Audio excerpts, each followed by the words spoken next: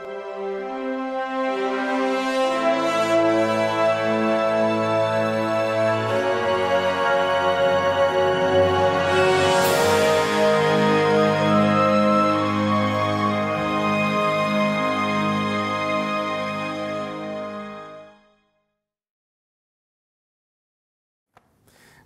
habe Ihnen schon letztes Mal gesagt, dass die Dinge, wo ich meine, dass sie also in ihrer jetzigen Phase wichtig sind, äh, dass Sie verstehen, dass die eigentlich mit letztem Mal abgeschlossen waren. Wir haben ja die kovariante Ableitung ziemlich genau besprochen Sie haben, glaube ich, auch alle gesehen, dass das was sehr Wichtiges ist und dass man mit Hilfe der kovarianten Ableitung dann eben das, was in der Physik sehr häufig verwendet wird, nämlich die Vektordifferentialoperatoren, auch in krummlinigen Koordinaten formulieren kann, was ein großer Vorteil ist, weil viele Anwendungsfälle sind so, dass sie in krummlinigen Koordinaten viel besser und einfacher behandelt werden können, als wenn alles immer nur in kartesischen Koordinaten gehen muss aber natürlich insbesondere, wenn man über gekrümmte Räume spricht, etwa über Kugeloberflächen, wenn man an die Erdoberfläche denkt und ähnliches, da geht es mit kartesischen Koordinaten ja gar nicht mehr, weil da kann man ja sie,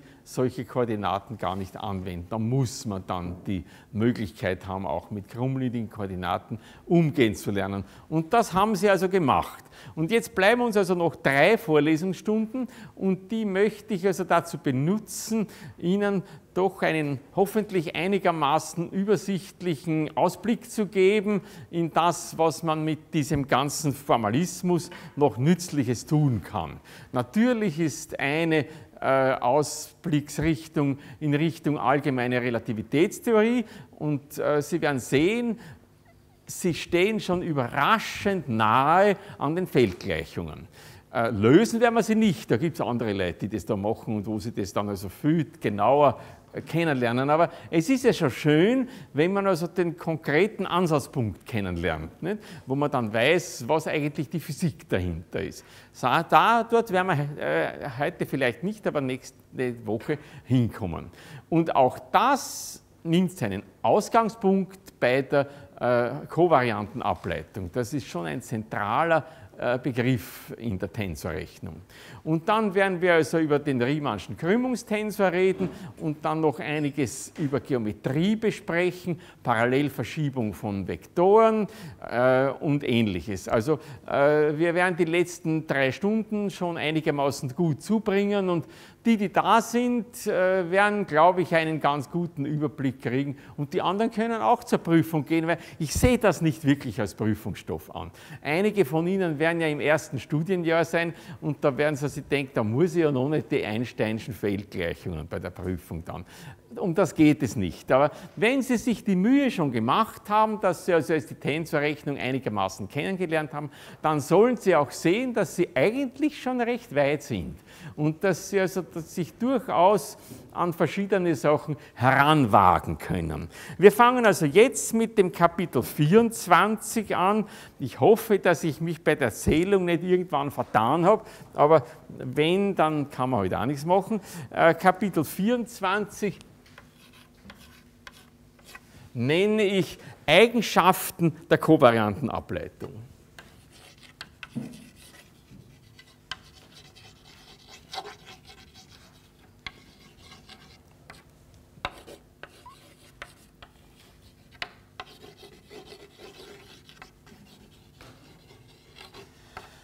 Ich sage natürlich wieder, wie schon sehr oft, jetzt heißt recht, wenn irgendwas auftritt, was Ihnen schleierhaft vorkommt, dann melden Sie sich sofort. Wir haben ja sowieso keinen Riesenhörsaal mit 300 Leuten da, sondern es ist ja ein Seminarbetrieb, wo Sie sich jederzeit melden können. Das liegt mir schon daran, dass das klargelegt ist. Und äh, der Titel schaut natürlich nicht sehr aufregend aus, aber Sie werden sehen, es ist oft so, wenn man dann halt ein bisschen systematischer an die Eigenschaften einer neu eines neu eingeführten mathematischen Hilfsmittels herangeht, dann kommen auf einmal ganz interessante Sachen zutage. Und so wird es also hier auch sein. Das Erste, was ich mit Ihnen in diesem Zusammenhang besprechen möchte, ist, dass wir bis jetzt ja nur kovariante Ableitungen von Skalaren und Vektoren besprochen haben und dass man das natürlich auch für Tensoren höherer Stufe machen kann. Äh, jetzt werden Sie sich denken, na ja, wer braucht das? Sie werden sehen, wir werden es gleich brauchen. Und deswegen muss ich, weil wir es eben brauchen, das war mein, mein Ziel in dem ganzen äh, Jahr jetzt mit der Tensorrechnung, immer das Ihnen zu bringen, was Sie in weiterer Folge brauchen werden, damit wir zu einem guten Ende kommen sozusagen. In allen Richtungen gibt es natürlich viele andere Sachen auch, aber naja, alles kann man nie machen. Also kovariante Ableitung von äh, Tensoren höherer Stufe.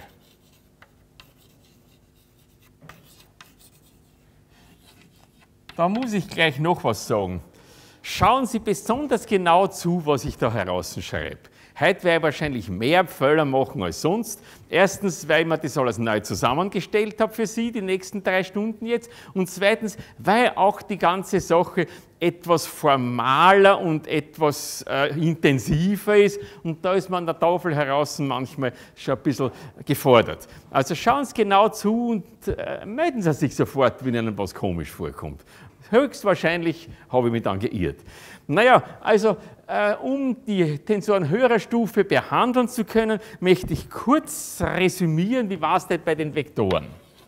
Wenn man einen Vektor AI hat und den nach R kovariant ableitet, dann macht man einmal äh, die partielle Ableitung DAI nach DQR und wenn das Contra und Co ist, kommt ein Plus und dann kommt so ein Christoffel-Symbol, Gamma IR und dann vielleicht ein N mal AN. Also das I wird als ein AN gemacht und so schaut das aus. Und wenn es ein kovarianter Vektor AI ist und der nach R kovariant abgeleitet wird, muss man wieder zunächst die partielle Ableitung bilden, dA unten, I nach dQr, jetzt aber minus ein Gamma IR, müssen natürlich auch unten sein, dann das N oben und dafür haben wir dann hier ein AN so. Das kennen Sie schon. Und jetzt schauen wir, wie schaut das aus, bei Tensoren höherer Stufe. Und wenn man das also ganz allgemein für irgendeinen Tensor höherer Stufe aufschreibt, ist es lästig und mühsam aufzuschreiben. Ich schreibe ein Beispiel aus, auf, aus dem sich, glaube ich, alles weitere ergibt. Also die Verallgemeinerung als Beispiel.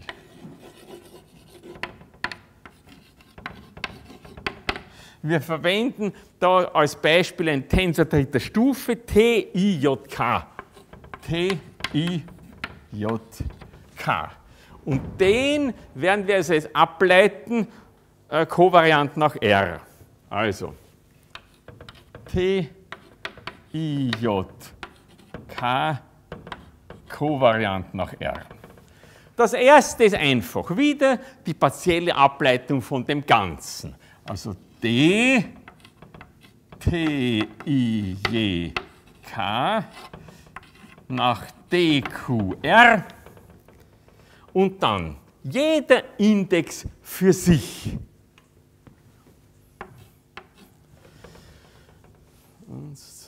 Ich werde die erste Zeile noch da herschreiben. Also jetzt einmal nehmen wir den Index i her und abgeleitet wird nach r. Dann kommt da ein Gamma i r äh, so wie wir es da oben gehabt haben. Und dann machen wir wieder so ein n. Und jetzt wird dann der Tensor hergenommen und da das n eingesetzt. Tn jk. Das ist der erste Teil. Plus, da können wir die beiden gleich da schön herschreiben.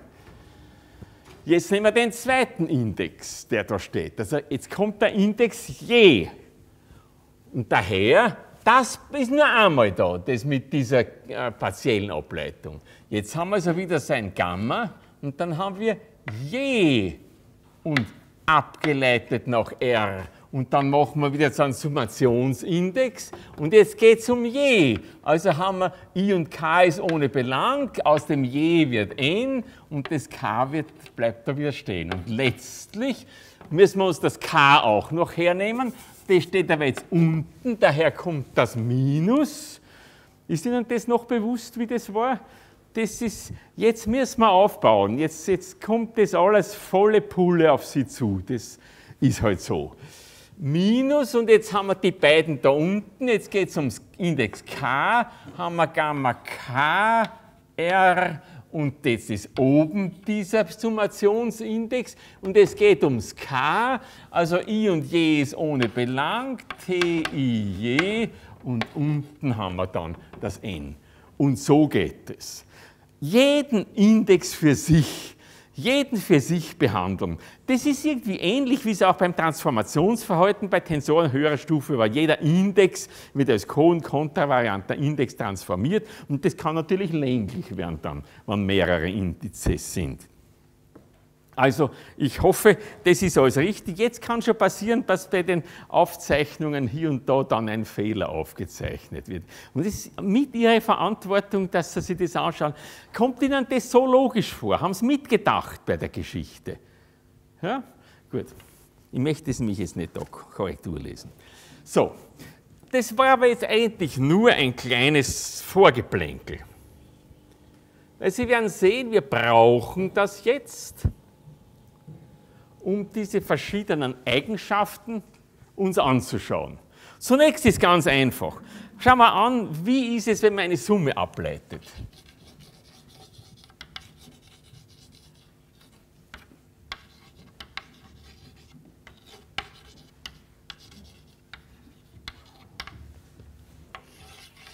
Also das waren einmal da Tensoren höherer Stufe. Und jetzt kommt Ableitung einer Summe. Und dann machen wir ein Beispiel. AI plus BI abgeleitet nach K.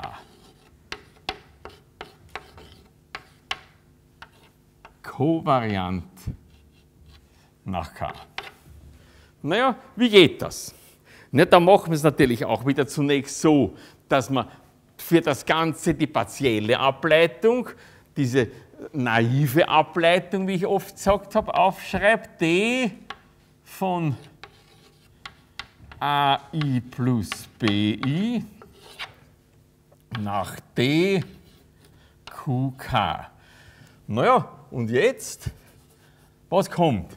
Die sind Kontra, das sind Co, also kommen zweimal Plus, geht also weiter Plus. Und da haben wir jetzt einmal als erstes zu nehmen, äh, I wird nach K abgeleitet, also so kommt ein Gamma bisschen höher. Gamma IK und dann wieder so ein N und das heißt dann mal AN plus BN. Und dann ist es eigentlich schon fertig. Ja, genau. Also, wie schreiben wir das um? Wir äh, äh, teilen es auf. Naja, und zwar wie? Da haben wir also da, aus dem wird jetzt DAI nach DQK plus DBI nach DQK. Und dann haben wir plus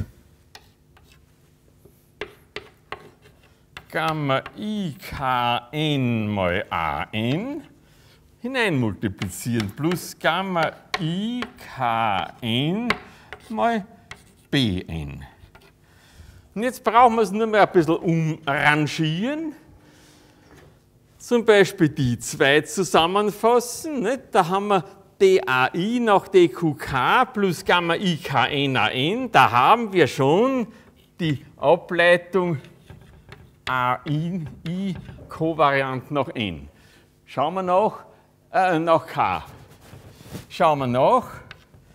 AI nach K, das ist die AI nach DQK. Und dann plus Gamma I Kn mal AN. Das ist der Teil weg. Plus, jetzt schauen wir nach, das andere ist BI nach K, da haben wir dBi nach dQk, das haben wir da, und dann plus Gamma ikn mal bn. Und fertig. Und Sie sehen, das ist gutartig. Gott sei Dank, dass was so funktioniert, wie man es haben will. Äh, Sie werden sehen, es bleibt nicht so. Jetzt einmal Gott sei Dank noch. Also wenn man eine Summe kovariant ableitet, dann kommt die Summe der einzelnen kovarianten Ableitungen heraus und das geht auch für Tensoren höherer Stufe. Das nächste ist Ableitung eines tensoriellen Produktes.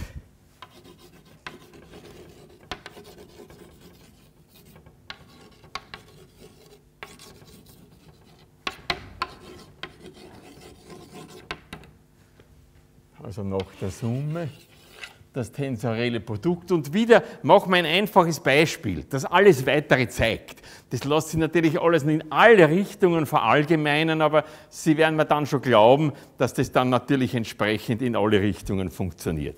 Nehmen wir zum Beispiel das Produkt ALBI.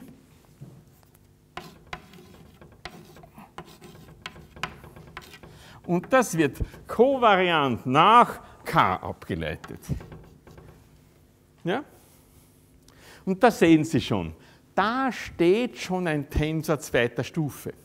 Das jetzt brauchen wir schon eine kovariante Ableitung von Tensoren höherer Stufe. Bisher haben wir es noch nicht gebraucht. Da brauchen wir es, damit wir sehen, was da herauskommt. Also das hier ist so ein Tensor TLI, wenn Sie so wollen, was wir so ähnlich da auch gehabt haben. Aber wir führen das nicht so weiter, sondern das haben wir nur so im Hinterkopf. Also führen wir diese kovariante Ableitung dieses Tensors zweiter Stufe durch. Index für Index. Als erstes wie immer zuerst diese partielle Ableitung von allem. Also D A L B I nach D Q K. Das ist das Erste, was da mal steht. Und jetzt kommen dann ähm, für jeden Index ein so ein Teil mit einem Christoffel-Symbol. Also schauen wir mal nach. Nehmen wir mal den ersten Index. Der zweite ist jetzt ohne Belang. Dann haben wir also Gamma L, K und habe ich das jetzt wieder N genannt. Der N und dann, es geht um den ersten Index, mal AN, der zweite ist ohne Belang, bleibt BI. Kann man auch einklammern, muss man aber nicht. Plus, na Minus, weil das steht unten, wenn es unten steht, ist ein Minus, erinnern Sie sich, das sind so die Geschichten, die man halt dann wissen muss. Also Minus, Gamma IK und dafür oben n. Und jetzt geht es um den zweiten Index. Der erste ist ohne Belang, bleibt AL und BN. Okay, damit haben wir einmal das. Und das werden wir jetzt ein bisschen ausarbeiten. Machen wir einfacher ist gleich und tun wir in der nächsten Spalte weiter.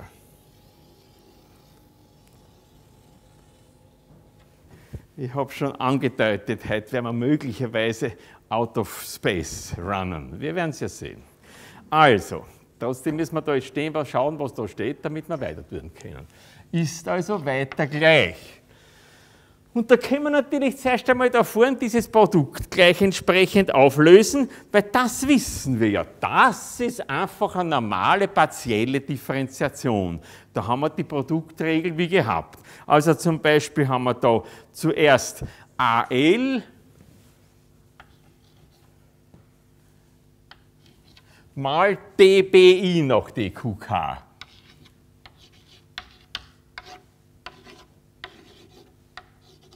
plus und als nächstes haben wir dann eben BI, dann nehmen wir das her, BI mal DAL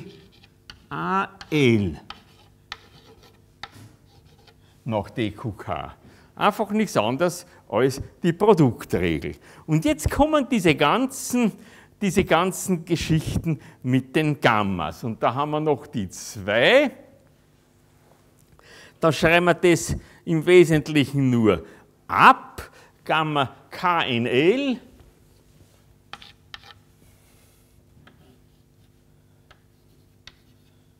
KNL ANBI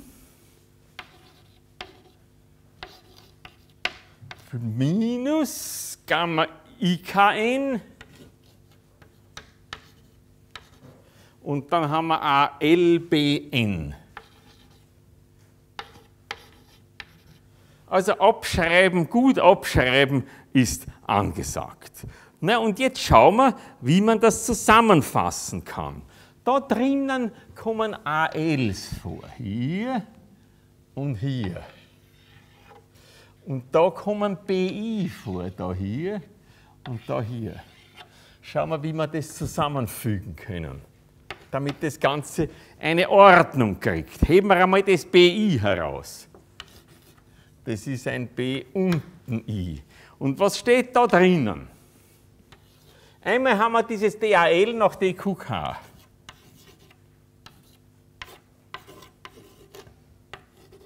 Damit ist der Term weg.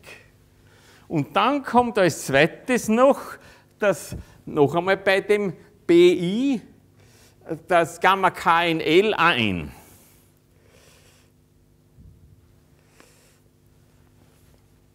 Und zwar plus. KNL AN. Das ist das mit BI. Und jetzt machen wir dann noch dazu das mit dem AL plus AL heben wir heraus, da oben L, da haben wir wieder die Geschichte mit jetzt abgeleitet dBi nach dQA, nach dQK. Damit haben wir das weg, AL mal dBi nach dQK. Jetzt fällt eigentlich nur mehr, ja, irgendwo habe ich was nicht weggehakelt, nämlich das da hier. Gamma KNL AN, das habe ich nicht weggehakelt. Aber was fällt ist noch? Das minus Gamma IKN äh, BN. Damit ist das weg. Alle vier von da oben sind wieder da. Ich fürchte, das ist für Sie da hinten nicht so besonders übersichtlich, aber äh, es geht, glaube ich, nicht anders. Jetzt haben wir also die so herausgehoben und jetzt schauen wir, was da steht. Da haben wir stehen, probieren wir es einmal. Ich mache da jetzt einen Folgepfeil und fange noch einmal an mit AL, BI nach K. AL, BI, Kovarianten nach K, um das geht es ja hier. Und was kriegen wir? Da hier steht am ersten Teil ein BI mal AL Kovariant nach K. Schauen wir nach, ob es ist. BI und jetzt steht AL nach K, das ist einmal partiell DAL nach DQK und dann plus Gamma LKN AN. Stimmt wirklich, das ist erledigt. Und dann haben wir plus AL und da haben BI nach K. Kovariant nach K. Und schauen wir, ob es wahr ist. BI nach K, da haben wir das partielle dBi nach dQK und da die beiden unten sind minus Gamma IKN BN. Fertig. Hurra. Die Produktregel.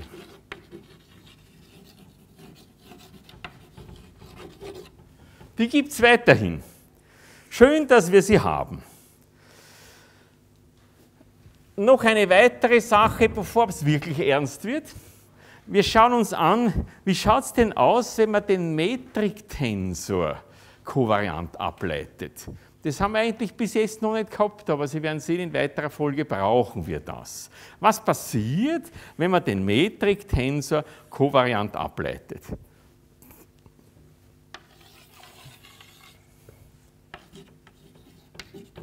Kovariante Ableitung von und den Metriktensor machen wir beide unten.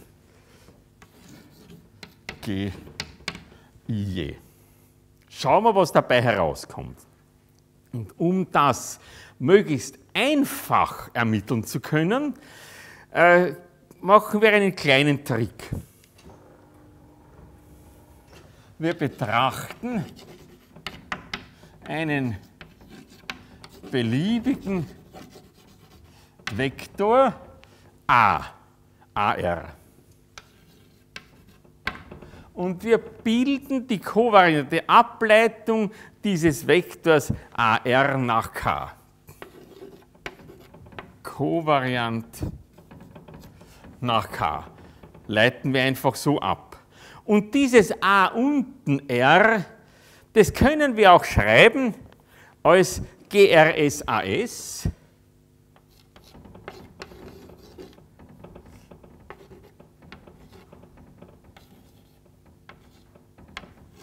und das Kovariant noch K. Denn das A unten R, das lässt sich aus einem kontravarianten äh, Komponente A um S mit herunterziehen mit dem kovarianten Metriktensor herunterholen. Und dann steht in der Klammer das AR da und das wird hier nach K äh, entsprechend abgeleitet. Naja, und das können wir jetzt durchführen. Denn wir kriegen jetzt heraus, dass dieses AR nach K kovariant nach K gleich ist. Und jetzt steht da drinnen ein Produkt und wir können die Produktregel anwenden. Da kommt einmal äh, das GRS nach K mal AS, das ist das eine, und dann plus AS nach K mal GRS. Und dieses AS nach K mal GRS, AS nach K mal GRS, das GRS zieht das S wieder runter, es bleibt ein AR nach K stehen. Und Sie sehen jetzt, AR nach K ist der Ausdruck plus AR nach K. Das heißt, für einen beliebigen Vektor, wenn das gilt, ist das hier 0. Und wenn das für einen beliebigen Vektor 0 ist, muss GRS nach K gleich 0 sein. Und es zeigt sich, die kovariante Ableitung des Metriktensors ist immer 0. Und das ist etwas, was in der, der Tensorrechnung sehr wichtig ist. Das berühmte Lemma von Ricci. Die Italiener haben da viel gemacht. Ricci, Levici Vitar, verschiedene Italiener, die die Tensorrechnung ziemlich stark weitergebracht haben. Lemma von Ricci Und das sagt im Wesentlichen aus, dass die kovarianten Ableitungen des Metriktensors verschwinden. Kovariante, kontravariante. Ableitungen.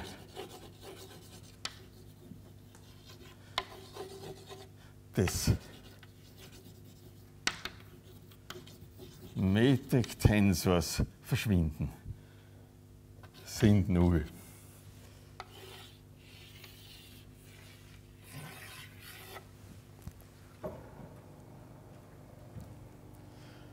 Also das Ganze ist sehr einfach gewesen.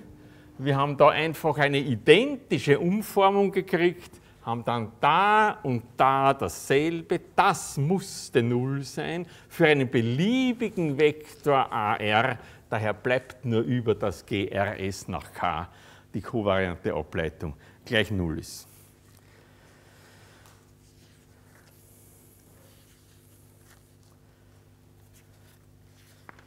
Ja.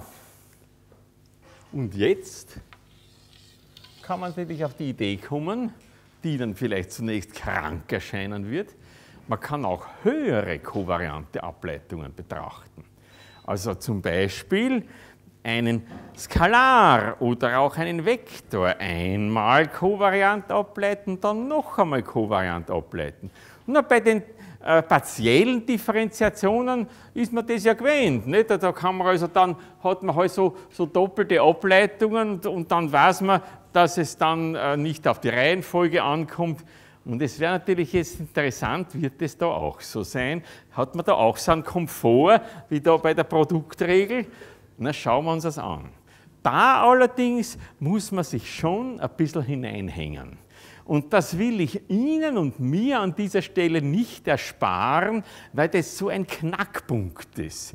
Der öffnet Ihnen die Tür äh, in die äh, weitergehende Tensorrechnung, wo Sie dann die Möglichkeit haben, konkrete Aussagen über die Raumkrümmung zu machen. Das ergibt sich jetzt aus diesen höheren Ableitungen.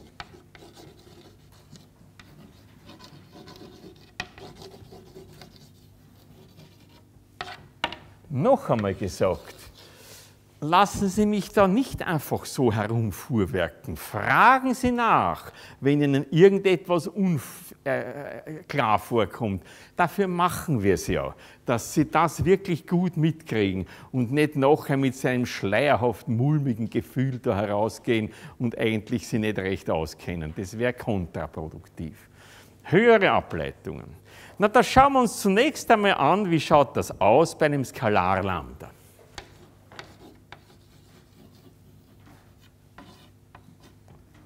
Wir werden nur Skalare und Vektoren betrachten.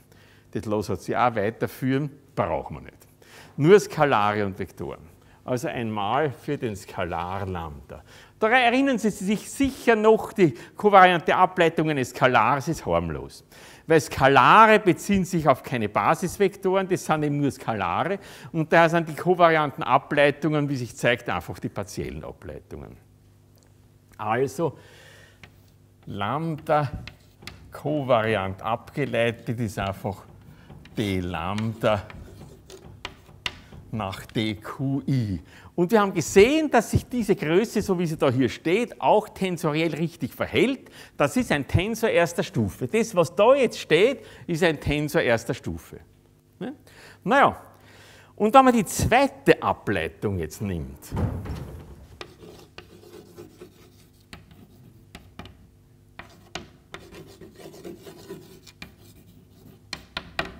dann ist das ein Lambda nach i nach je nach i nach je. Es mag sein, dass man sagen könnte, nach i, je oder so irgendwas. Das fangen wir erst gar nicht an. Sie wissen so genau, was passiert. Das Lambda nach i ist ein Vektor und der wird wieder kovariant abgeleitet und dann kriegt man einen Tensor zweiter Stufe. Na, wie schaut das aus? Die zweite Ableitung von Lambda. Also das Lambda nach i wird abgeleitet. Nur da kommt wieder die partielle. d Lambda nach, nach i nach dq je. Und dann haben wir jetzt Minus, weil das beides unten ist, Gamma. Es geht um den Vektor, der nach dem abgeleitet wird, haben wir i je. Und oben habe ich wieder ein, jetzt ein L einmal hingeschrieben, ist ja wurscht und dann Lambda nach L. Denn es geht ja um diesen Lambda nach I, der da abgeleitet werden soll. Naja. Weiter. Dieses Lambda nach i habe ich mir da schon vorsorglich oben hingeschrieben. Das wollen wir jetzt natürlich gleich benutzen.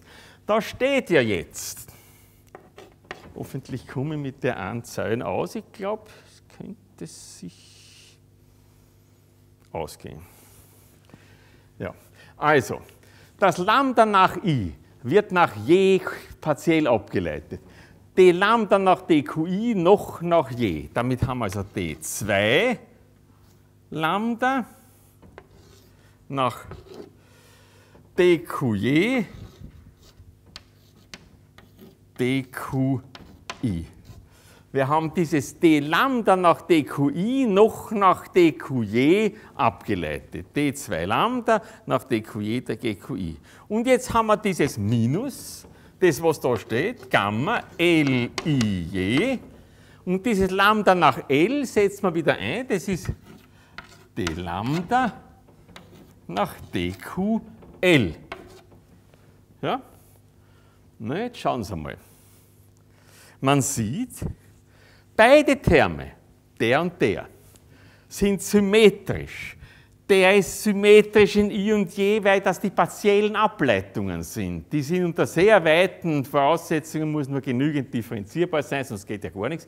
Äh, das ist symmetrisch in I und J, ist egal, was man zuerst differenziert. Und das wieder ist symmetrisch in I und J, weil die, die Christoffel-Symbole diese Eigenschaft haben, dass sie da symmetrisch in, in den unteren zwei Indizes sind.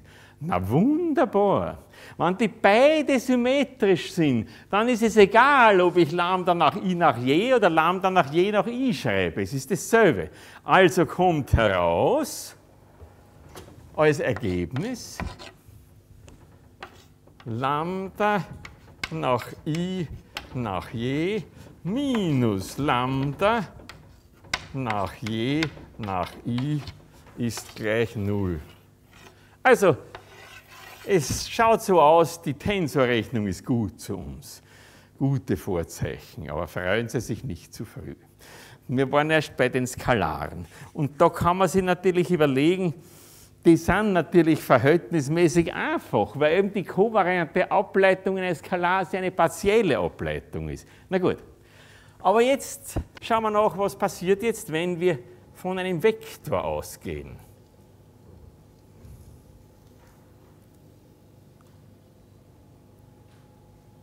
Und den hintereinander zweimal partiell äh, äh, kovariant ableiten. Also jetzt haben wir gehabt den Skalar Lambda. Jetzt nehmen wir den Vektor AI. A unten I. Und was werden wir machen? Wir werden einmal das AI einmal nach je ableiten, damit wir einmal was zum Anfangen haben. Und das leiten wir dann noch einmal kovariant ab. Das haben wir ja da auch so gemacht. Zuerst haben wir es einmal nach i abgeleitet und dann haben wir es noch einmal nach je abgeleitet. Wir werden das ganz ähnlich machen. Also wir werden zunächst einmal das AI hernehmen und das einmal kovariant nach je ableiten. Wohlgemerkt, schauen Sie den Unterschied an. Das ist ein Skalar und es kommt schon die Ableitung. Da ist ein Vektor, dann kommt die Ableitung. Muss man schon genau aufpassen, was passiert. Wir machen die kovariante Ableitung eines Vektors und das ist ja für Sie jetzt inzwischen lang schon eine Gewohnheitssache. Wir brauchen es ja nur hinschreiben. Die übliche partielle Ableitung,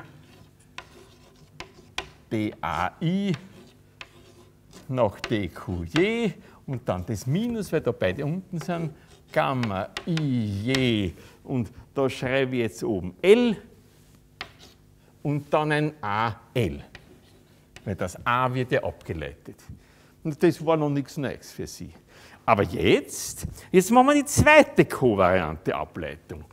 Damit zweite Ableitung.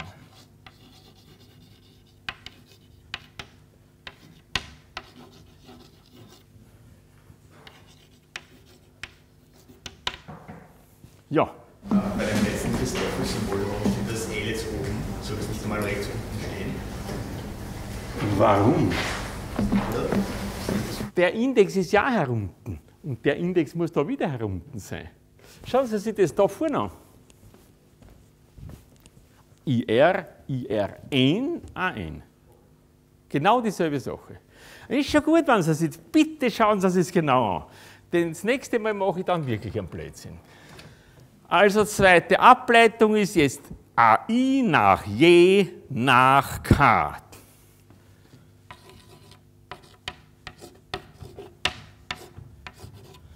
AI nach J nach K. Jetzt brauchen wir wieder das mit den Tensoren höherer Stufe. Das müssen wir jetzt wieder Index für Index, zwei Indizes sind, I und J, müssen wir das abhandeln. Aber als erstes einmal kommt wie üblich die normale partielle Ableitung. Also das ist D von AI nach J nach DQK. Das ist das Erste. Und jetzt müssen wir uns einmal die, die beiden Indizes der Reihe nach anschauen. Einmal den Index I. Beide sind unten, da heißt, wird in jedem Fall ein Minus sein. Ja, Minus, ich schaue mir das auch wegen der Platzeinteilung an, dass das irgendwie nicht so über und über. Also Minus und dann haben wir Gamma IK unten. Und dann sagen wir wieder, da sagen wir jetzt H dazu für diesen Summationsindex. Das ist nichts Außergewöhnliches. Ich versuche das irgendwie ein bisschen zu, zu straffen. Gamma I K H und jetzt um den Index geht es. Mal A H nach J. Das J ist ja unangetastet geblieben.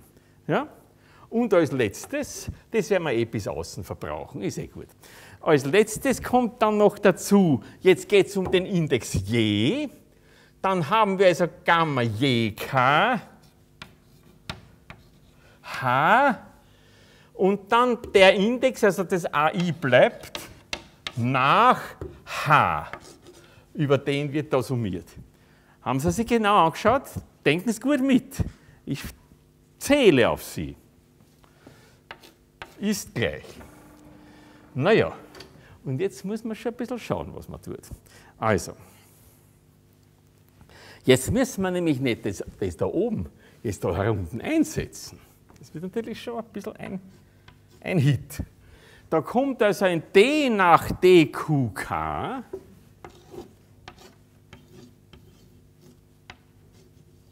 Das ist von da. Mal, also angewendet auf AI nach je, das habe ich da oben schon vorsorglich hingeschrieben. Das können wir jetzt einsetzen. Das, was da jetzt noch einmal abgeleitet wird, habe ich da oben schon stehen. Also angewendet auf die AI nach DQJ.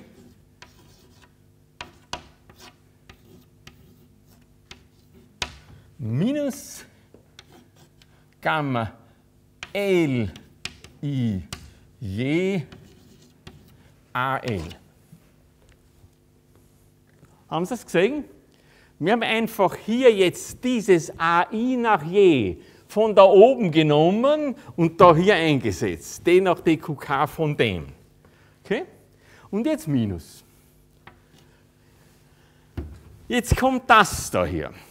Da kommt also Minus dieses Gamma IKH. Wie viel Platz brauche ich da eigentlich noch? Ja, wir werden schon zugleich drauf kommen. Wir werden mit, dem, wir werden mit diesem ein Problem kriegen. Also, minus. Den, den haben wir jetzt fertig. Jetzt kommt minus Gamma IKH.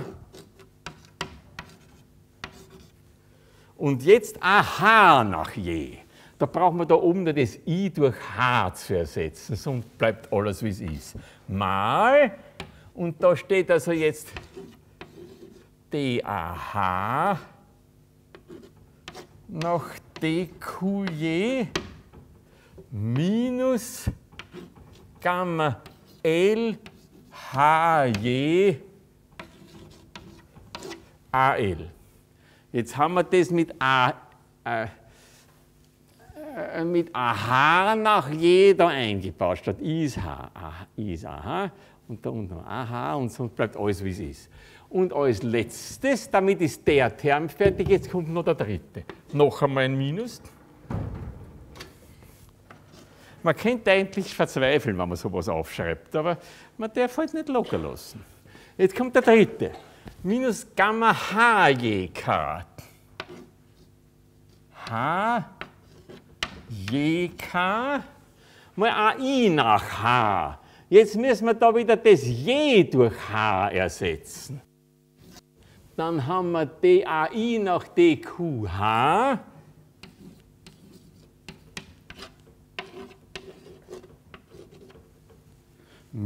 minus Gamma L Und wir haben gesagt, das I wird durch ein H ersetzt. Das J wird durch ein H ersetzt. Also Gamma L I H. So, da will ich jetzt doch einmal nachschauen.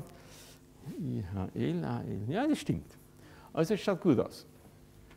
So, kurze Unterbrechung. Ist irgendjemand ausgestiegen? Kennt sie irgendwie überhaupt mehr, mehr aus? Oder sind wir, noch beieinander? So wie bei der Kammermusik. Nicht? Einer spielt und alle anderen steigen aus. Und dann, wir wollen ja ein schönes Quartett da machen nicht? und nicht irgendwie durcheinander. Also, jetzt wollen wir uns die Geschichte ein bisschen strukturieren. Da kommen überall so Faktoren AL vor. Da hier kommt er vor, da kommt er vor und da kommt er vor, dieser Faktor. Und diese Faktoren wollen wir jetzt so von unten nach oben äh, äh, ein bisschen aufrollen. Ja. Ähm, in der letzten Zeile des I, also A, die Index I, das gehört unten, oder? Ja, danke. Sehr gut. Richtig. Ja, ja. Ja, wie gesagt, abschreiben. Abschreiben, abschreiben. Ganz wichtig. Okay. Okay. Und es ist natürlich ein bisschen ungeschickt, weil jetzt muss ich da äh, hin und her eilen, um da eins nach dem anderen herüber zu übertragen. Worum es uns letztlich geht, das möchte ich gleich wieder vorausschicken für das Weitere. Wir wollen wissen, inwieweit es was ausmacht, ob man J und K vertauscht oder nicht. Wir wollen also wissen, ob es da Symmetrien drinnen gibt. Und hoffentlich ist alles symmetrisch. Dann ist wieder Null, dann haben wir so etwas Ähnliches wie da. Na gut. Also was passiert? Ich schreibe jetzt noch einmal Beginne neu. AI nach J nach K ist gleich. Ja.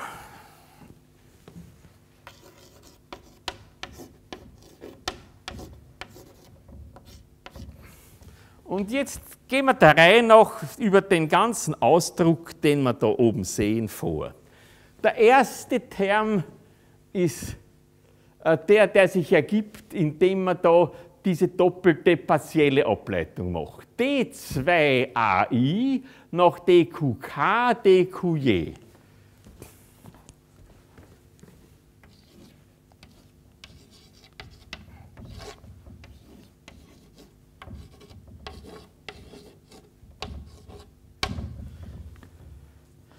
Das war das erste.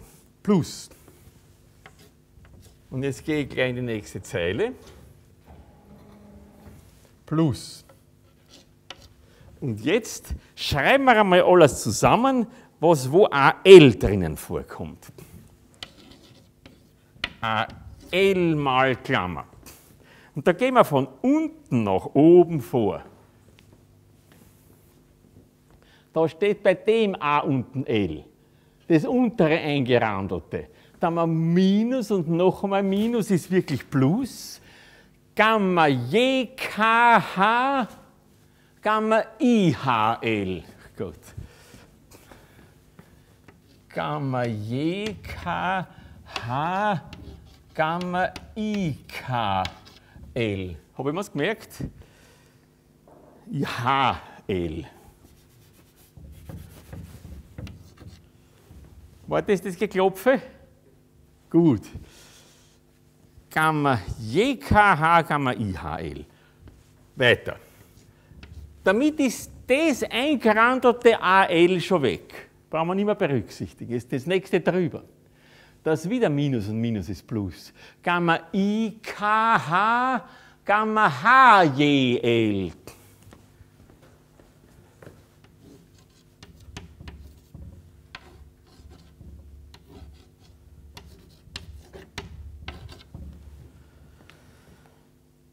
Stimmt.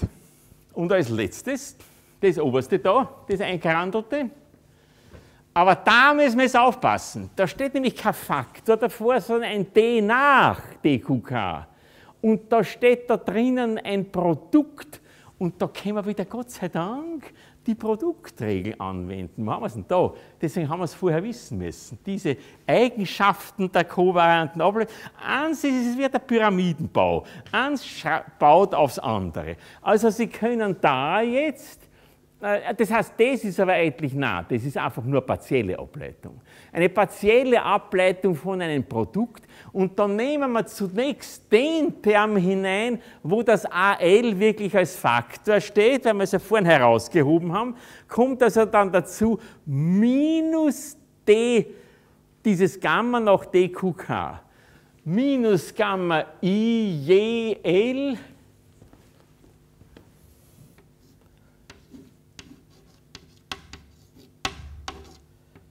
nach dq, was war es jetzt? K. Das AL haben wir schon vorhin stehen, bleibt nur minus äh, d Gamma IJL nach dqk. Ja? Naja.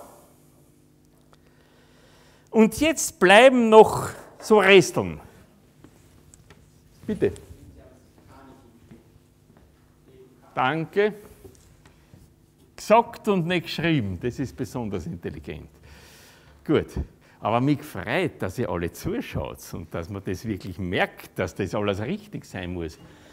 Jetzt sind wir aber noch nicht fertig. Übrigens, ich möchte also noch einmal meinen Fehler äh, sagen, das ist ja jetzt hier eine partielle Ableitung gewesen. Und die, für die gilt ja sowieso diese diese Regel, äh, die Produktregel, die wir da angewendet haben. Aber jetzt bleibt noch was über, weil wir haben ja jetzt noch den Term, wo das Gamma stehen bleibt und das AL abgeleitet wird. Also es bleibt noch stehen jetzt mit Minusvorzeichen, minus DAL nach DQK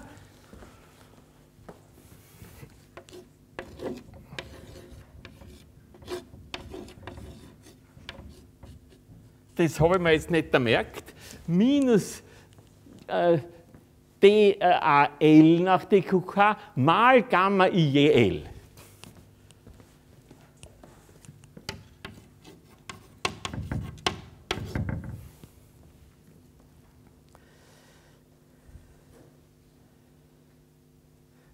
L nach DQK mal Gamma IJL. Ja. Und jetzt bleibt uns noch was jetzt haben wir das, das haben wir, die haben wir, da bleiben noch welche. Äh, minus, äh, das, der zweite Minusfaktor da unten, minus Gamma, minus DAH nach DQJ.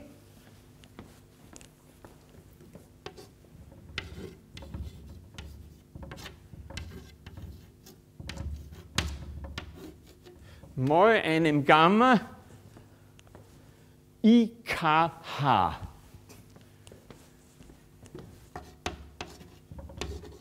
Und zuletzt in den untersten wieder Minus DAI nach DQH.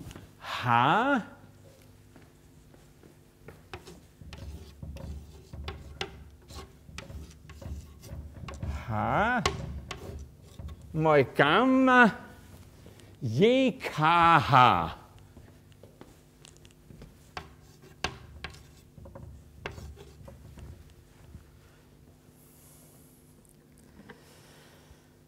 Jawohl, so. Da haben wir es alle. Und jetzt schauen wir uns das einmal an. Denn uns interessiert jetzt, wo gibt es Sachen, die symmetrisch in J und K sind. Wir wollen ja wissen, ob man die Reihenfolge dieser äh, kovarianten Ableitungen vertauschen kann. Na, zum Beispiel haben wir schon da oben das.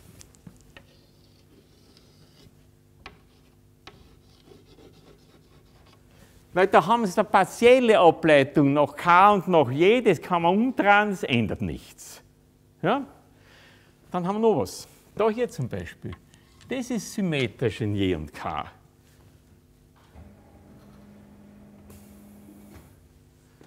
Das ist symmetrisch in J und K. Schauen wir uns einmal das da hier an. Da steht hier eine Summation über L, da eine Summation über H. Das ist dasselbe. Da steht KIJ, da steht JIK. Wenn Sie da I und J vertauschen, kommt das heraus. Wenn Sie da I und J vertauschen, kommt wieder das heraus. Das heißt, das ist nur Bäumchen wechsle dich und beides ist Minus. Das heißt, das ist auch symmetrisch in J und K. Können Sie es erkennen? Die L sind da nur Summationsindizes, da sind es die H, das ändert nichts. Aber da steht noch DQK und Gamma IJ und da steht noch DQJ und Gamma IK. Wenn Sie das vertauschen, kommt das heraus, aber dafür kommt bei dem das heraus und die Summe der beiden Negativen ändert sich nicht. Sehen Sie das? Sind Sie einverstanden damit? Das muss man schon sehen, sonst glaubt man es ja nicht. Also es rebelliert jedenfalls niemand. Naja, dann schauen wir einmal. Das ist symmetrisch, das ist symmetrisch, aber das nicht und das auch nicht. Aber das, das und das ist auch symmetrisch. Es bleiben von der ganzen Tragödie nur zwei Terme über. Na, das ist doch schon ganz schön. Denn jetzt können wir als Folgerung das Ergebnis aufschreiben.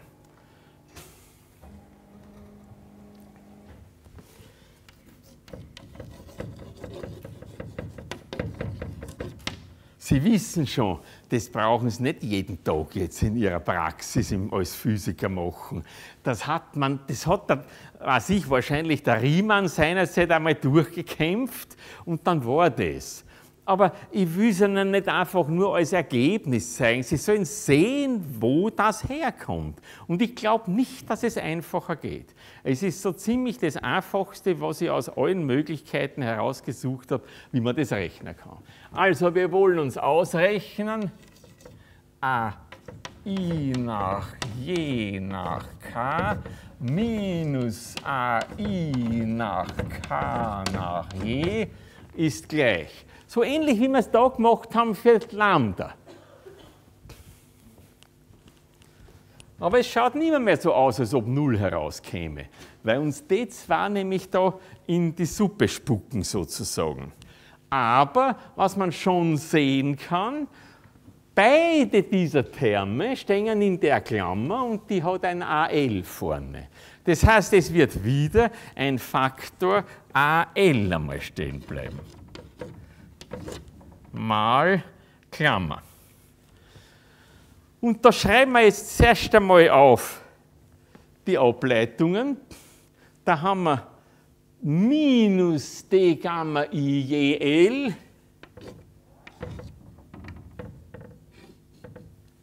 JL nach dqk Und als zweites, na, als zweites schreiben wir einmal äh, das mit Plus daher. Plus Gamma IKH, Gamma HJL.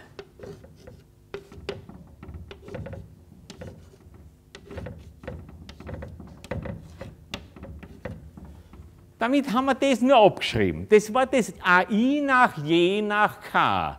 Aber jetzt kommt noch Minus und je C und K vertauscht. Also da haben wir gehabt Gamma IKH, Gamma HJL. Jetzt haben wir die zwei Terme schon da stehen. Und jetzt müssen wir es nochmal hinschreiben, aber mit J und K vertauscht, weil es heißt ja minus AI nach K nach J statt nach J nach K. Und da schreiben wir wieder jetzt minus das, das heißt, aus dem Minus wird Plus, Plus, da haben wir dann B Gamma und jetzt J und K vertauscht. Statt J kommt K, IKL. Also aus, J, aus K wird J nach DQJ. Und dann kommt wieder Minus. Das wurde Plus, das wird jetzt Minus, Minus. Und wieder J und K vertauscht. Also Gamma IJH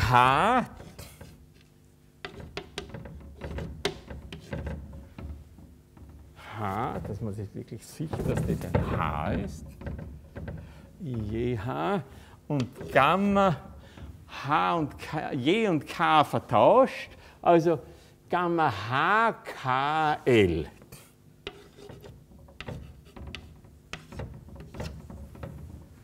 Und das ist es. Und das gestatten Sie mir jetzt, dass ich das aber anschaue. AL mal minus die Gamma IJL nach DQK plus Gamma IKH Gamma HJL plus die Gamma IKL nach DQJ minus Gamma IJH Gamma HKL. Dann passt. Das schaut aber jetzt eigentlich unerfreulich aus. Das wird nämlich nicht mehr anders. Schauen Sie nach das an. Jetzt hätte man schon meinen können, wir sind auf einem guten Weg und jetzt am Schluss hat uns dieser Kreidel reingehauen. So wie hier geht es hier nicht. Also es kommt, wenn man Vektoren betrachtet, die man kovariant ableitet, sehr wohl auf die Reihenfolge an. Und Sie werden sich jetzt denken, mein Gott, was soll ich damit anfangen? Das ist doch völlig unnötig. Kein Mensch braucht sowas. Aber bei näherer Betrachtung stellt sich heraus, dass man da einen goldenen Schlüssel in der Hand hat. Nämlich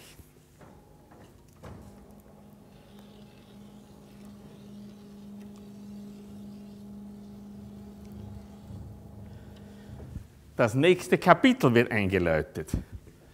25.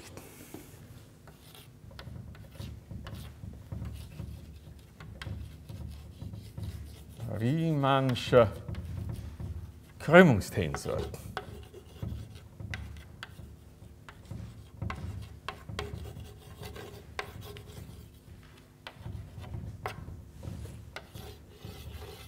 Na, wo ist er? Wir haben ihn schon. Und wir definieren uns jetzt den Riemannschen Krümmungstensor.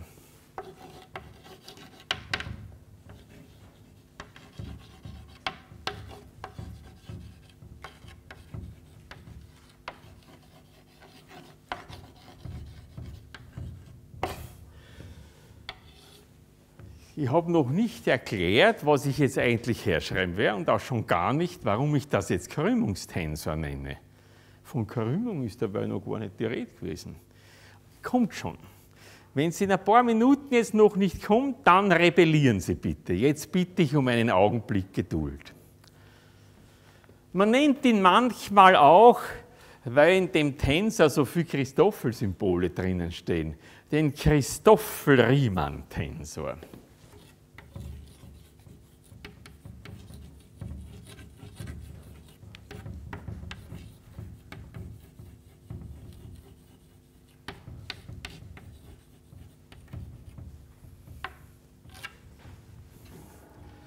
Und jetzt schreibe ich auf, wie er definiert ist. Man hat dem Herrn Riemann ein Denkmal gesetzt und hat ihn R bezeichnet. R, L, I, K. O Graus, ein Tensor vierter Stufe. Aber ich meine, wir haben ja sowas auch schon mal gehabt. Also es ist nicht wirklich etwas, wo man sich so richtig davor fürchten muss. Und der wird jetzt ganz einfach definiert entsprechend dem, was hier steht.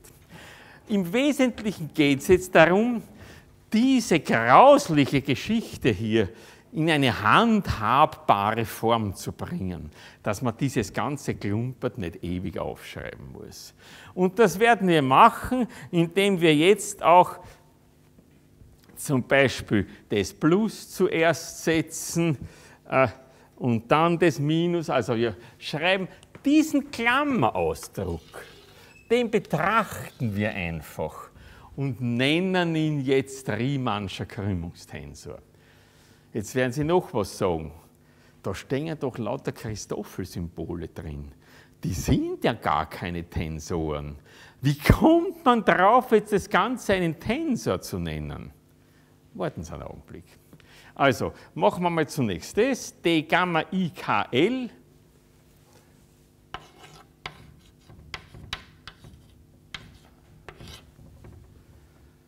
Nach dqj minus und jetzt kommt als nächstes das da hier, d Gamma IJL. Ja.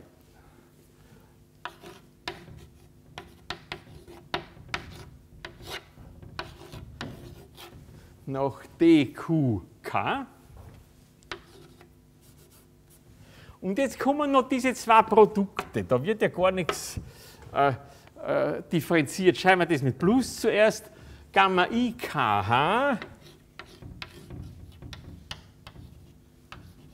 Gamma IKH, Gamma HJL minus, das ist dann jetzt noch als letztes das, Gamma IJH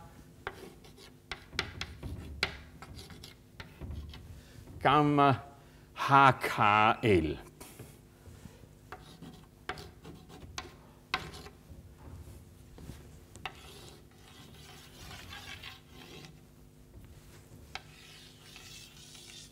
Ich erlaube mir, das jetzt auch noch einmal zu prüfen, das soll nicht falsch an der Tafel stehen.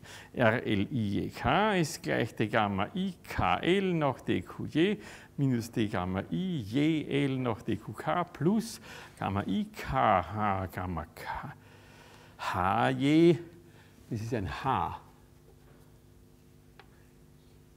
HJL minus Gamma IJH Gamma HKL. Wir haben uns durchgekämpft. Jetzt nenne ich das den Riemannschen Krümmungstensor. Wieso ist das ein Tensor? Da brauchen Sie sich nur diese Gleichung anschauen. Da stehen zwei kovariante Ableitungen. Das sind Tensoren. Das ist auch ein Tensor. Wenn das ein Tensor ist und das ein Tensor, muss das auch ein Tensor sein, sonst funktioniert das nicht.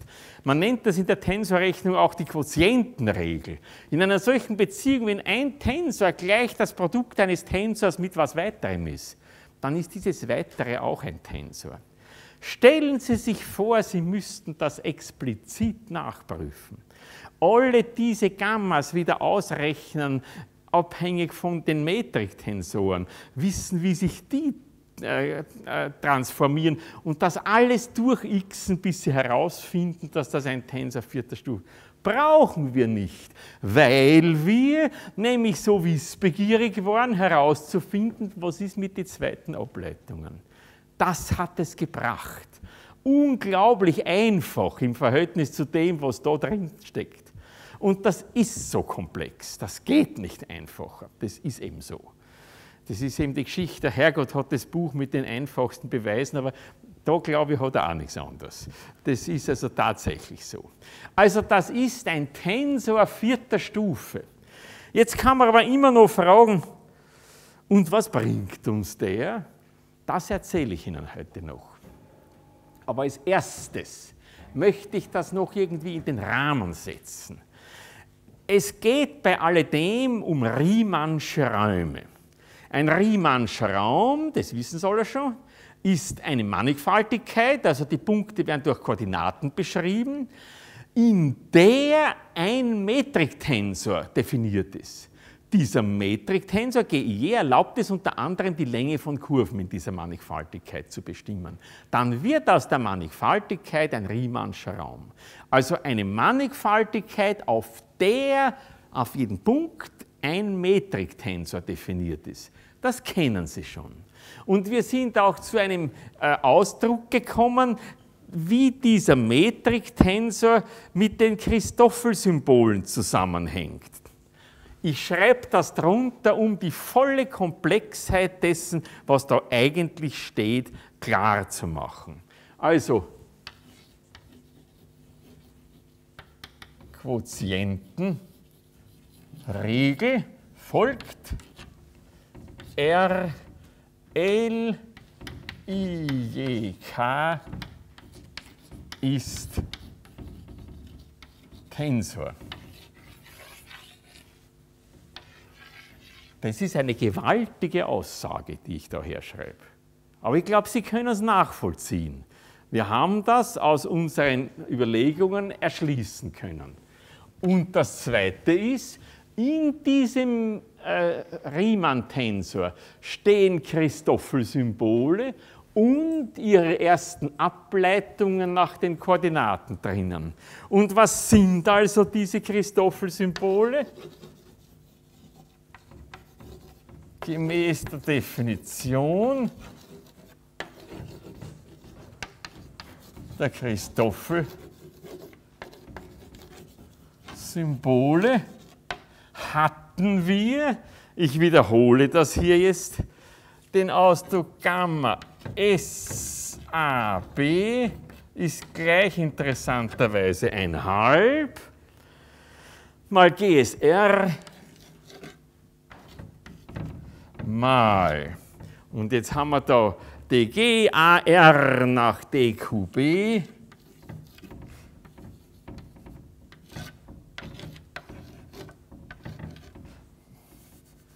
Plus dGBR nach dQA minus dGAB nach dQR. Das will ich jetzt auch da noch so hinzufügen, weil jetzt sehen Sie in der ganzen epischen Breite, wie dieser Riemann-Christoffel-Tensor mit dem Metriktensor zusammenhängt. Denn ein Riemannscher Raum wird nur zunächst einmal durch seinen Metriktensor festgelegt in seiner Struktur, in seinen metrischen Eigenschaften, in den Abstandsdefinitionen. Dieser Metriktensor als abhängiger Tensor von den Ortskoordinaten steht da drinnen. Einerseits so wie er ist oder auch abgeleitet. Erste Ableitungen nach den Ortskoordinaten. Dieser Metriktensor macht uns jetzt, definiert uns jetzt ein Christoffel-Symbol. Und wir haben uns schon überlegt, aufgrund der Geschichte mit der kovarianten Ableitung, das Christoffel-Symbol kann kein Tensor sein. Weil wenn Sie da oben die ganz erste Zeile AI nach R anschauen, links steht ein Tensor, rechts steht eine Summe. Das erste ist kein Tensor. So kann auch das zweite kein Tensor sein. A ist aber ein Tensor erster Stufe, so muss das Gamma kein Tensor sein. Daher nicht Christoffel Tensor, sondern Christoffel Symbol. Aber jetzt haben wir ein Konstrukt, wo man aus allen diesen Christoffel-Symbolen und wieder den ersten Ableitungen, und in den Christoffel-Symbolen steht der Metriktensor drin, einen Tensor herauskriegen. Also jetzt haben wir da einen Tensor erhalten. Und das, ich hoffe, das schaffe ich heute noch, möchte ich Ihnen also noch entsprechend weiter vorführen. Ich werde jetzt geringfügig von meiner Reihenfolge abgehen und möchte gleich, damit ja das heute noch ausgeht, weil Sie müssen heute mit einem Erfolgserlebnis von da weggehen. Das war doch zu schrecklich, was sie da abgespielt hat. Aber das war die Idee dahinter. Sie sollten sehen, woher das kommt.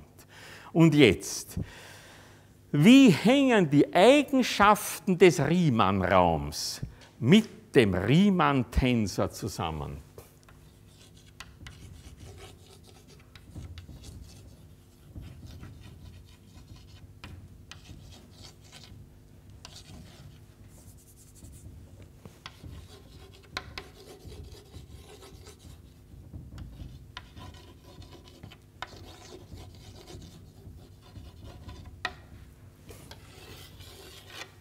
Da wollen wir jetzt schauen, ob wir aus diesem doch etwas kompliziert definierten Riemann-Tensor, Christoffel-Riemann-Tensor, eine Aussage gewinnen können über die räumliche Struktur dieses Riemannschen Raumes, wird durch diese Metriktensoren, und die stecken da drinnen, festgelegt ist.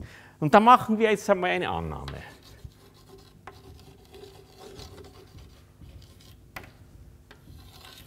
Horch es genau zu.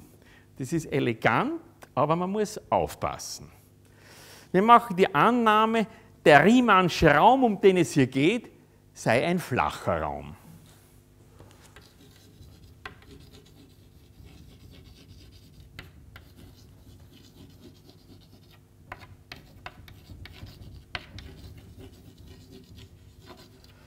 Der Riemann-Raum ist flach, davon gehen wir aus. Also zum Beispiel unserer da. Ein Beispiel für einen flachen Raum, Raum ist ein euklidischer Raum und schon gar der R3. Nicht? Na gut. Was heißt das? Sie erinnern sich vielleicht noch. Wann ist ein Raum flach? Wenn man ein Koordinatensystem in diesem Raum einführen kann, so dass dann der Metriktensor ortsunabhängig wird, konstant wird. Also, es gibt, darf ich das so schreiben? Ich glaube, das kommt in der Mathematik eh oft vor, oder? Also jetzt will ich nicht von denen angesteckt werden. Ich, ich bin jetzt kein Mathematiker, keine Sorge. Aber es gibt also ein Koordinatensystem,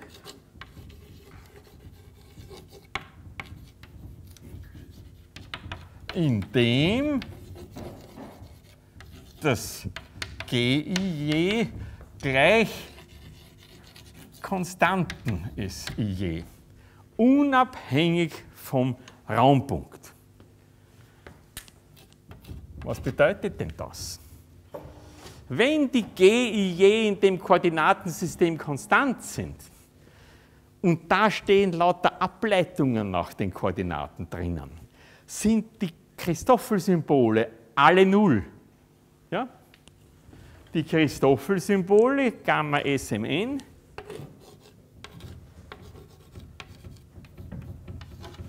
sind alle Null. Ja und? Jetzt schauen wir uns einmal an, was da dem Riemann-Tensor passiert. Da stehen lauter Christoffel-Symbole drin. Alle sind Null. Ihre Ableitungen natürlich erst recht. Der Riemann-Tensor RLIJK ist gleich Null. Naja, jetzt werden Sie sagen, ja, aber das ist ja nur in dem einen Koordinatensystem, wo das so ist. Aber jetzt kommt eine ganz tolle Argumentation. Ist nicht von mir. Ich, ich will nicht mich loben, sondern es ist einfach toll. Weil Sie wissen doch, wie die Tensoren äh, sich transformieren. Der transformierte Tensor ist der ursprüngliche mal diesen Transformationskoeffizienten aus der Transformationsmatrix. Und wenn mehrere Indizes sind, kommt für jeden Faktor so eine Transformationsmatrix da hinein. Das kennen Sie alles. Wenn nun in einem Koordinatensystem der Null ist, dann in allen. Denn egal, was für Transformationskoeffizienten Sie als Faktoren da dazusetzen, Null mal irgendwas bleibt Null. Ist er einmal Null, ist er immer Null. Also das ist hier eine ganz starke Aussage. Also damit in allen Koordinatensystemen RL IEK gleich 0. Also wenn der Raum flach ist, dann wissen Sie, der Riemann-Tensor wird 0 sein. Aber natürlich spannender ist jetzt die Umkehrung. Man möchte ja wissen, was ist, wann er 0 ist und was ist jetzt mit dem Raum. Nicht? Naja, machen wir die Umkehrung.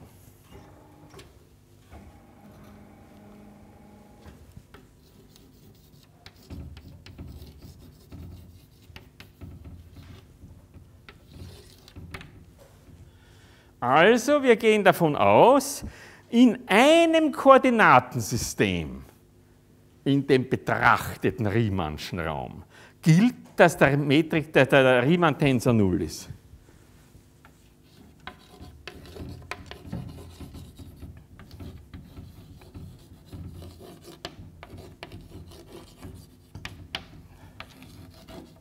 Davon gehen wir jetzt aus.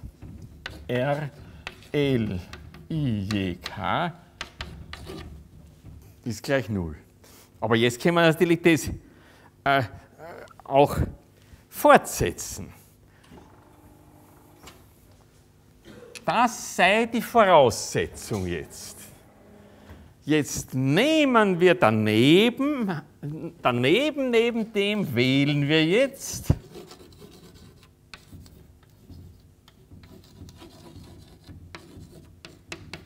in einem anderen gequerten Koordinatensystem einen Metriktensor GIJ quer, der konstante Komponenten hat. Daraus folgt, wenn er konstante Komponenten hat in diesem gequerten Koordinatensystem, dass die Gamma quer SMN alle Null sein müssen, wegen dieser Definition, wann die G konstant sind, auch die Gammas, und daraus eben auch, dass der Riemann-Tensor RLIJK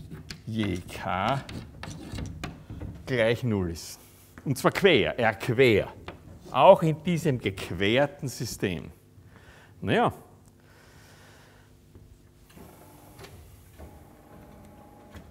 Und daher, gemäß dem tensoriellen Transformationsverhalten, muss R und R quer ineinander überführbar sein, weil der Null bleibt ja Null. Und durch, durch eine beliebige Transformation, egal welche, ist das ineinander überführbar. Also wegen des Transformationsverhaltens ist RL IJK und R quer L IJK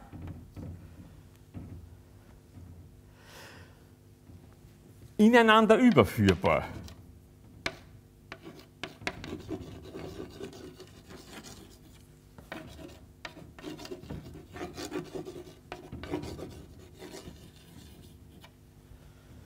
Da aber, weil sie beide Null sind, da aber diese äh, Riemann-Tensoren sich ja aus den Metriktensoren ergeben, muss daher ebenfalls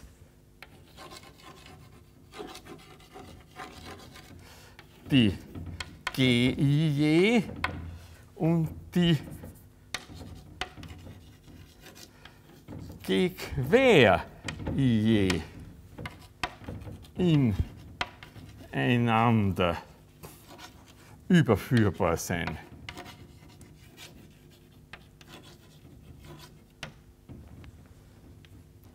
Weil durch das Überführen der G in die G quer, wenn man das alles einsetzt, werden auch die R in die R quer übergeführt und die können ineinander übergeführt werden. Daher muss das auch mit den G gelten. Und daher muss es möglich sein, dass man die jeweiligen Metriktensor durch geeignete Transformation in einen konstanten Metriktensor überführt. Und wenn das geht, dann ist der Raum flach.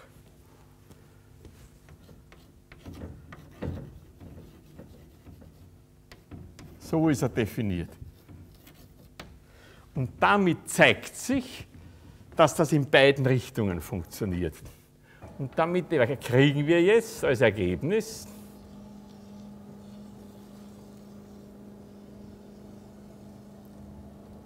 Folgerung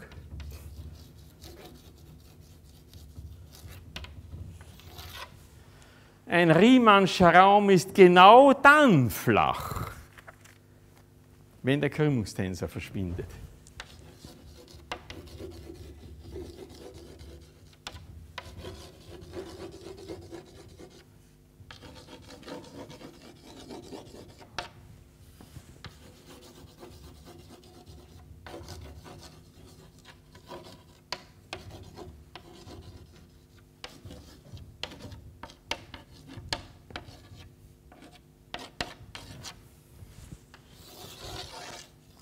Und jetzt ist klar, warum dieser komische Tensor da als Krümmungstensor bezeichnet wird.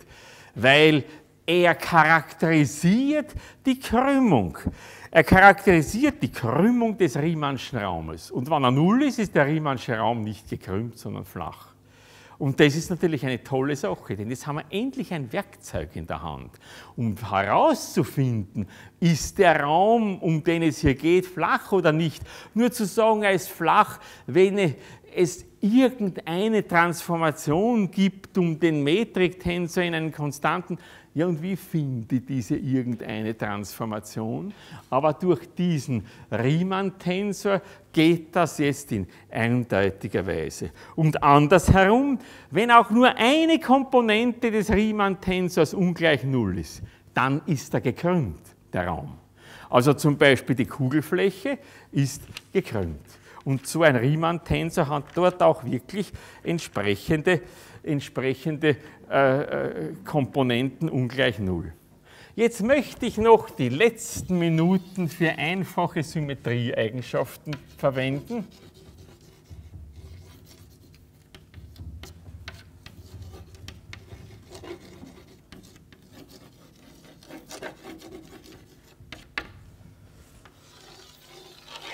Die sind nicht leicht herauszufinden. Das tun wir uns jetzt nicht an da muss man schon sehr genau in diese Sache hineinloten, um zu sehen, welche Indizes da mit welchen vertauscht werden dürfen. Aber ich schreibe sie in folgender Weise an und wir werden sie morgen, äh, nächste Woche brauchen.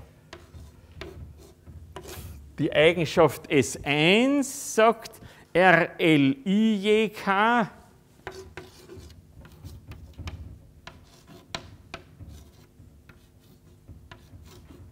ist gleich R JK LI.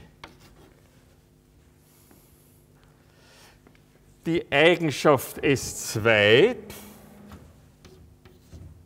also da bitte ich jetzt um Nachsicht, in diese Details hacken wir uns jetzt nicht mehr hinein. Wenn Ihnen gar nichts anderes einfällt, dann versuchen Sie das herauszufinden. Aber das ist eine undankbare Geschichte irgendwie. Sind wir froh, dass das schon verlässliche Leute gemacht haben. Das S2 lautet RLIJK.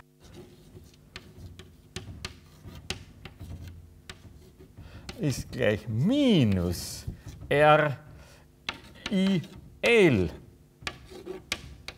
JK. Also haben wir die ersten zwei vertauscht, das ist antisymmetrisch. Und das S3 das gibt es noch für die anderen auch. RLIJK ist gleich minus RLIKJ.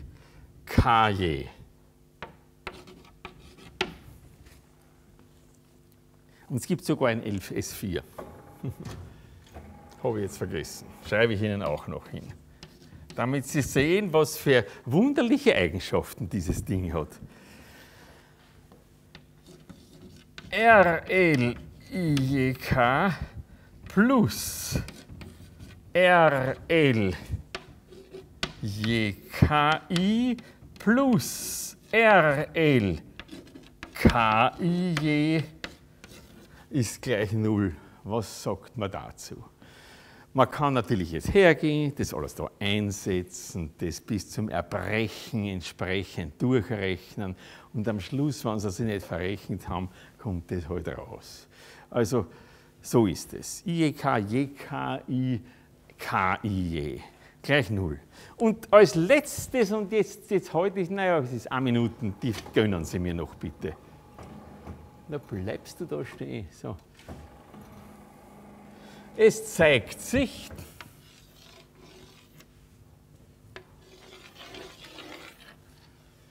und da muss man sich schon was überlegen dazu, dass man aufgrund dieser Symmetrieeigenschaften die Anzahl der unabhängigen Komponenten im n-dimensionalen Raum angeben kann. Anzahl der unabhängigen Komponenten in n Dimensionen. Und da kommt heraus, diese Anzahl ist n Quadrat mal n Quadrat minus 1 Zwölftel. Ist doch allerhand. Versuchen Sie das für n gleich 1, dann geht es gar nicht.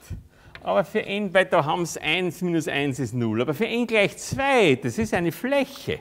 Die kann man sich ja Gott sei Dank vorstellen. Das Einzige, wo man sich wirklich was Gekrümmtes vorstellen kann, wenigstens das. Weil bei n gleich 3 ein gekrümmter dreidimensionaler Raum ist ja eigentlich nichts mehr in unserer Vorstellung. Also für n gleich 2, 2 mal 2 ist 4, mal minus 1, 4 mal 3 ist 12, 12 ist 1. Eine Komponente. Also für eine gekrümmte Fläche gibt es gerade eine unabhängige Komponente. Heute die Krümmung tut es wahrscheinlich, ob das nicht so durchgerechnet. Für n gleich 3 haben es 9 mal 8 ist 72 durch 12 ist 6. Und natürlich interessiert Sie jetzt n gleich 4. Weil in einer Woche sind Sie wieder herzlich eingeladen, herzukommen, werden wir das, was wir da jetzt erkämpft haben, anwenden, äh, um damit äh, die Basis zu schaffen für die allgemeine Relativitätsmechanik. Und daher kommt das n gleich 4, die Raumzeit, natürlich wichtig vor. Naja, das ist 4 mal 4 ist 16 mal 15 durch 12, das kann man im Kopf gar nicht mehr so gut, 20.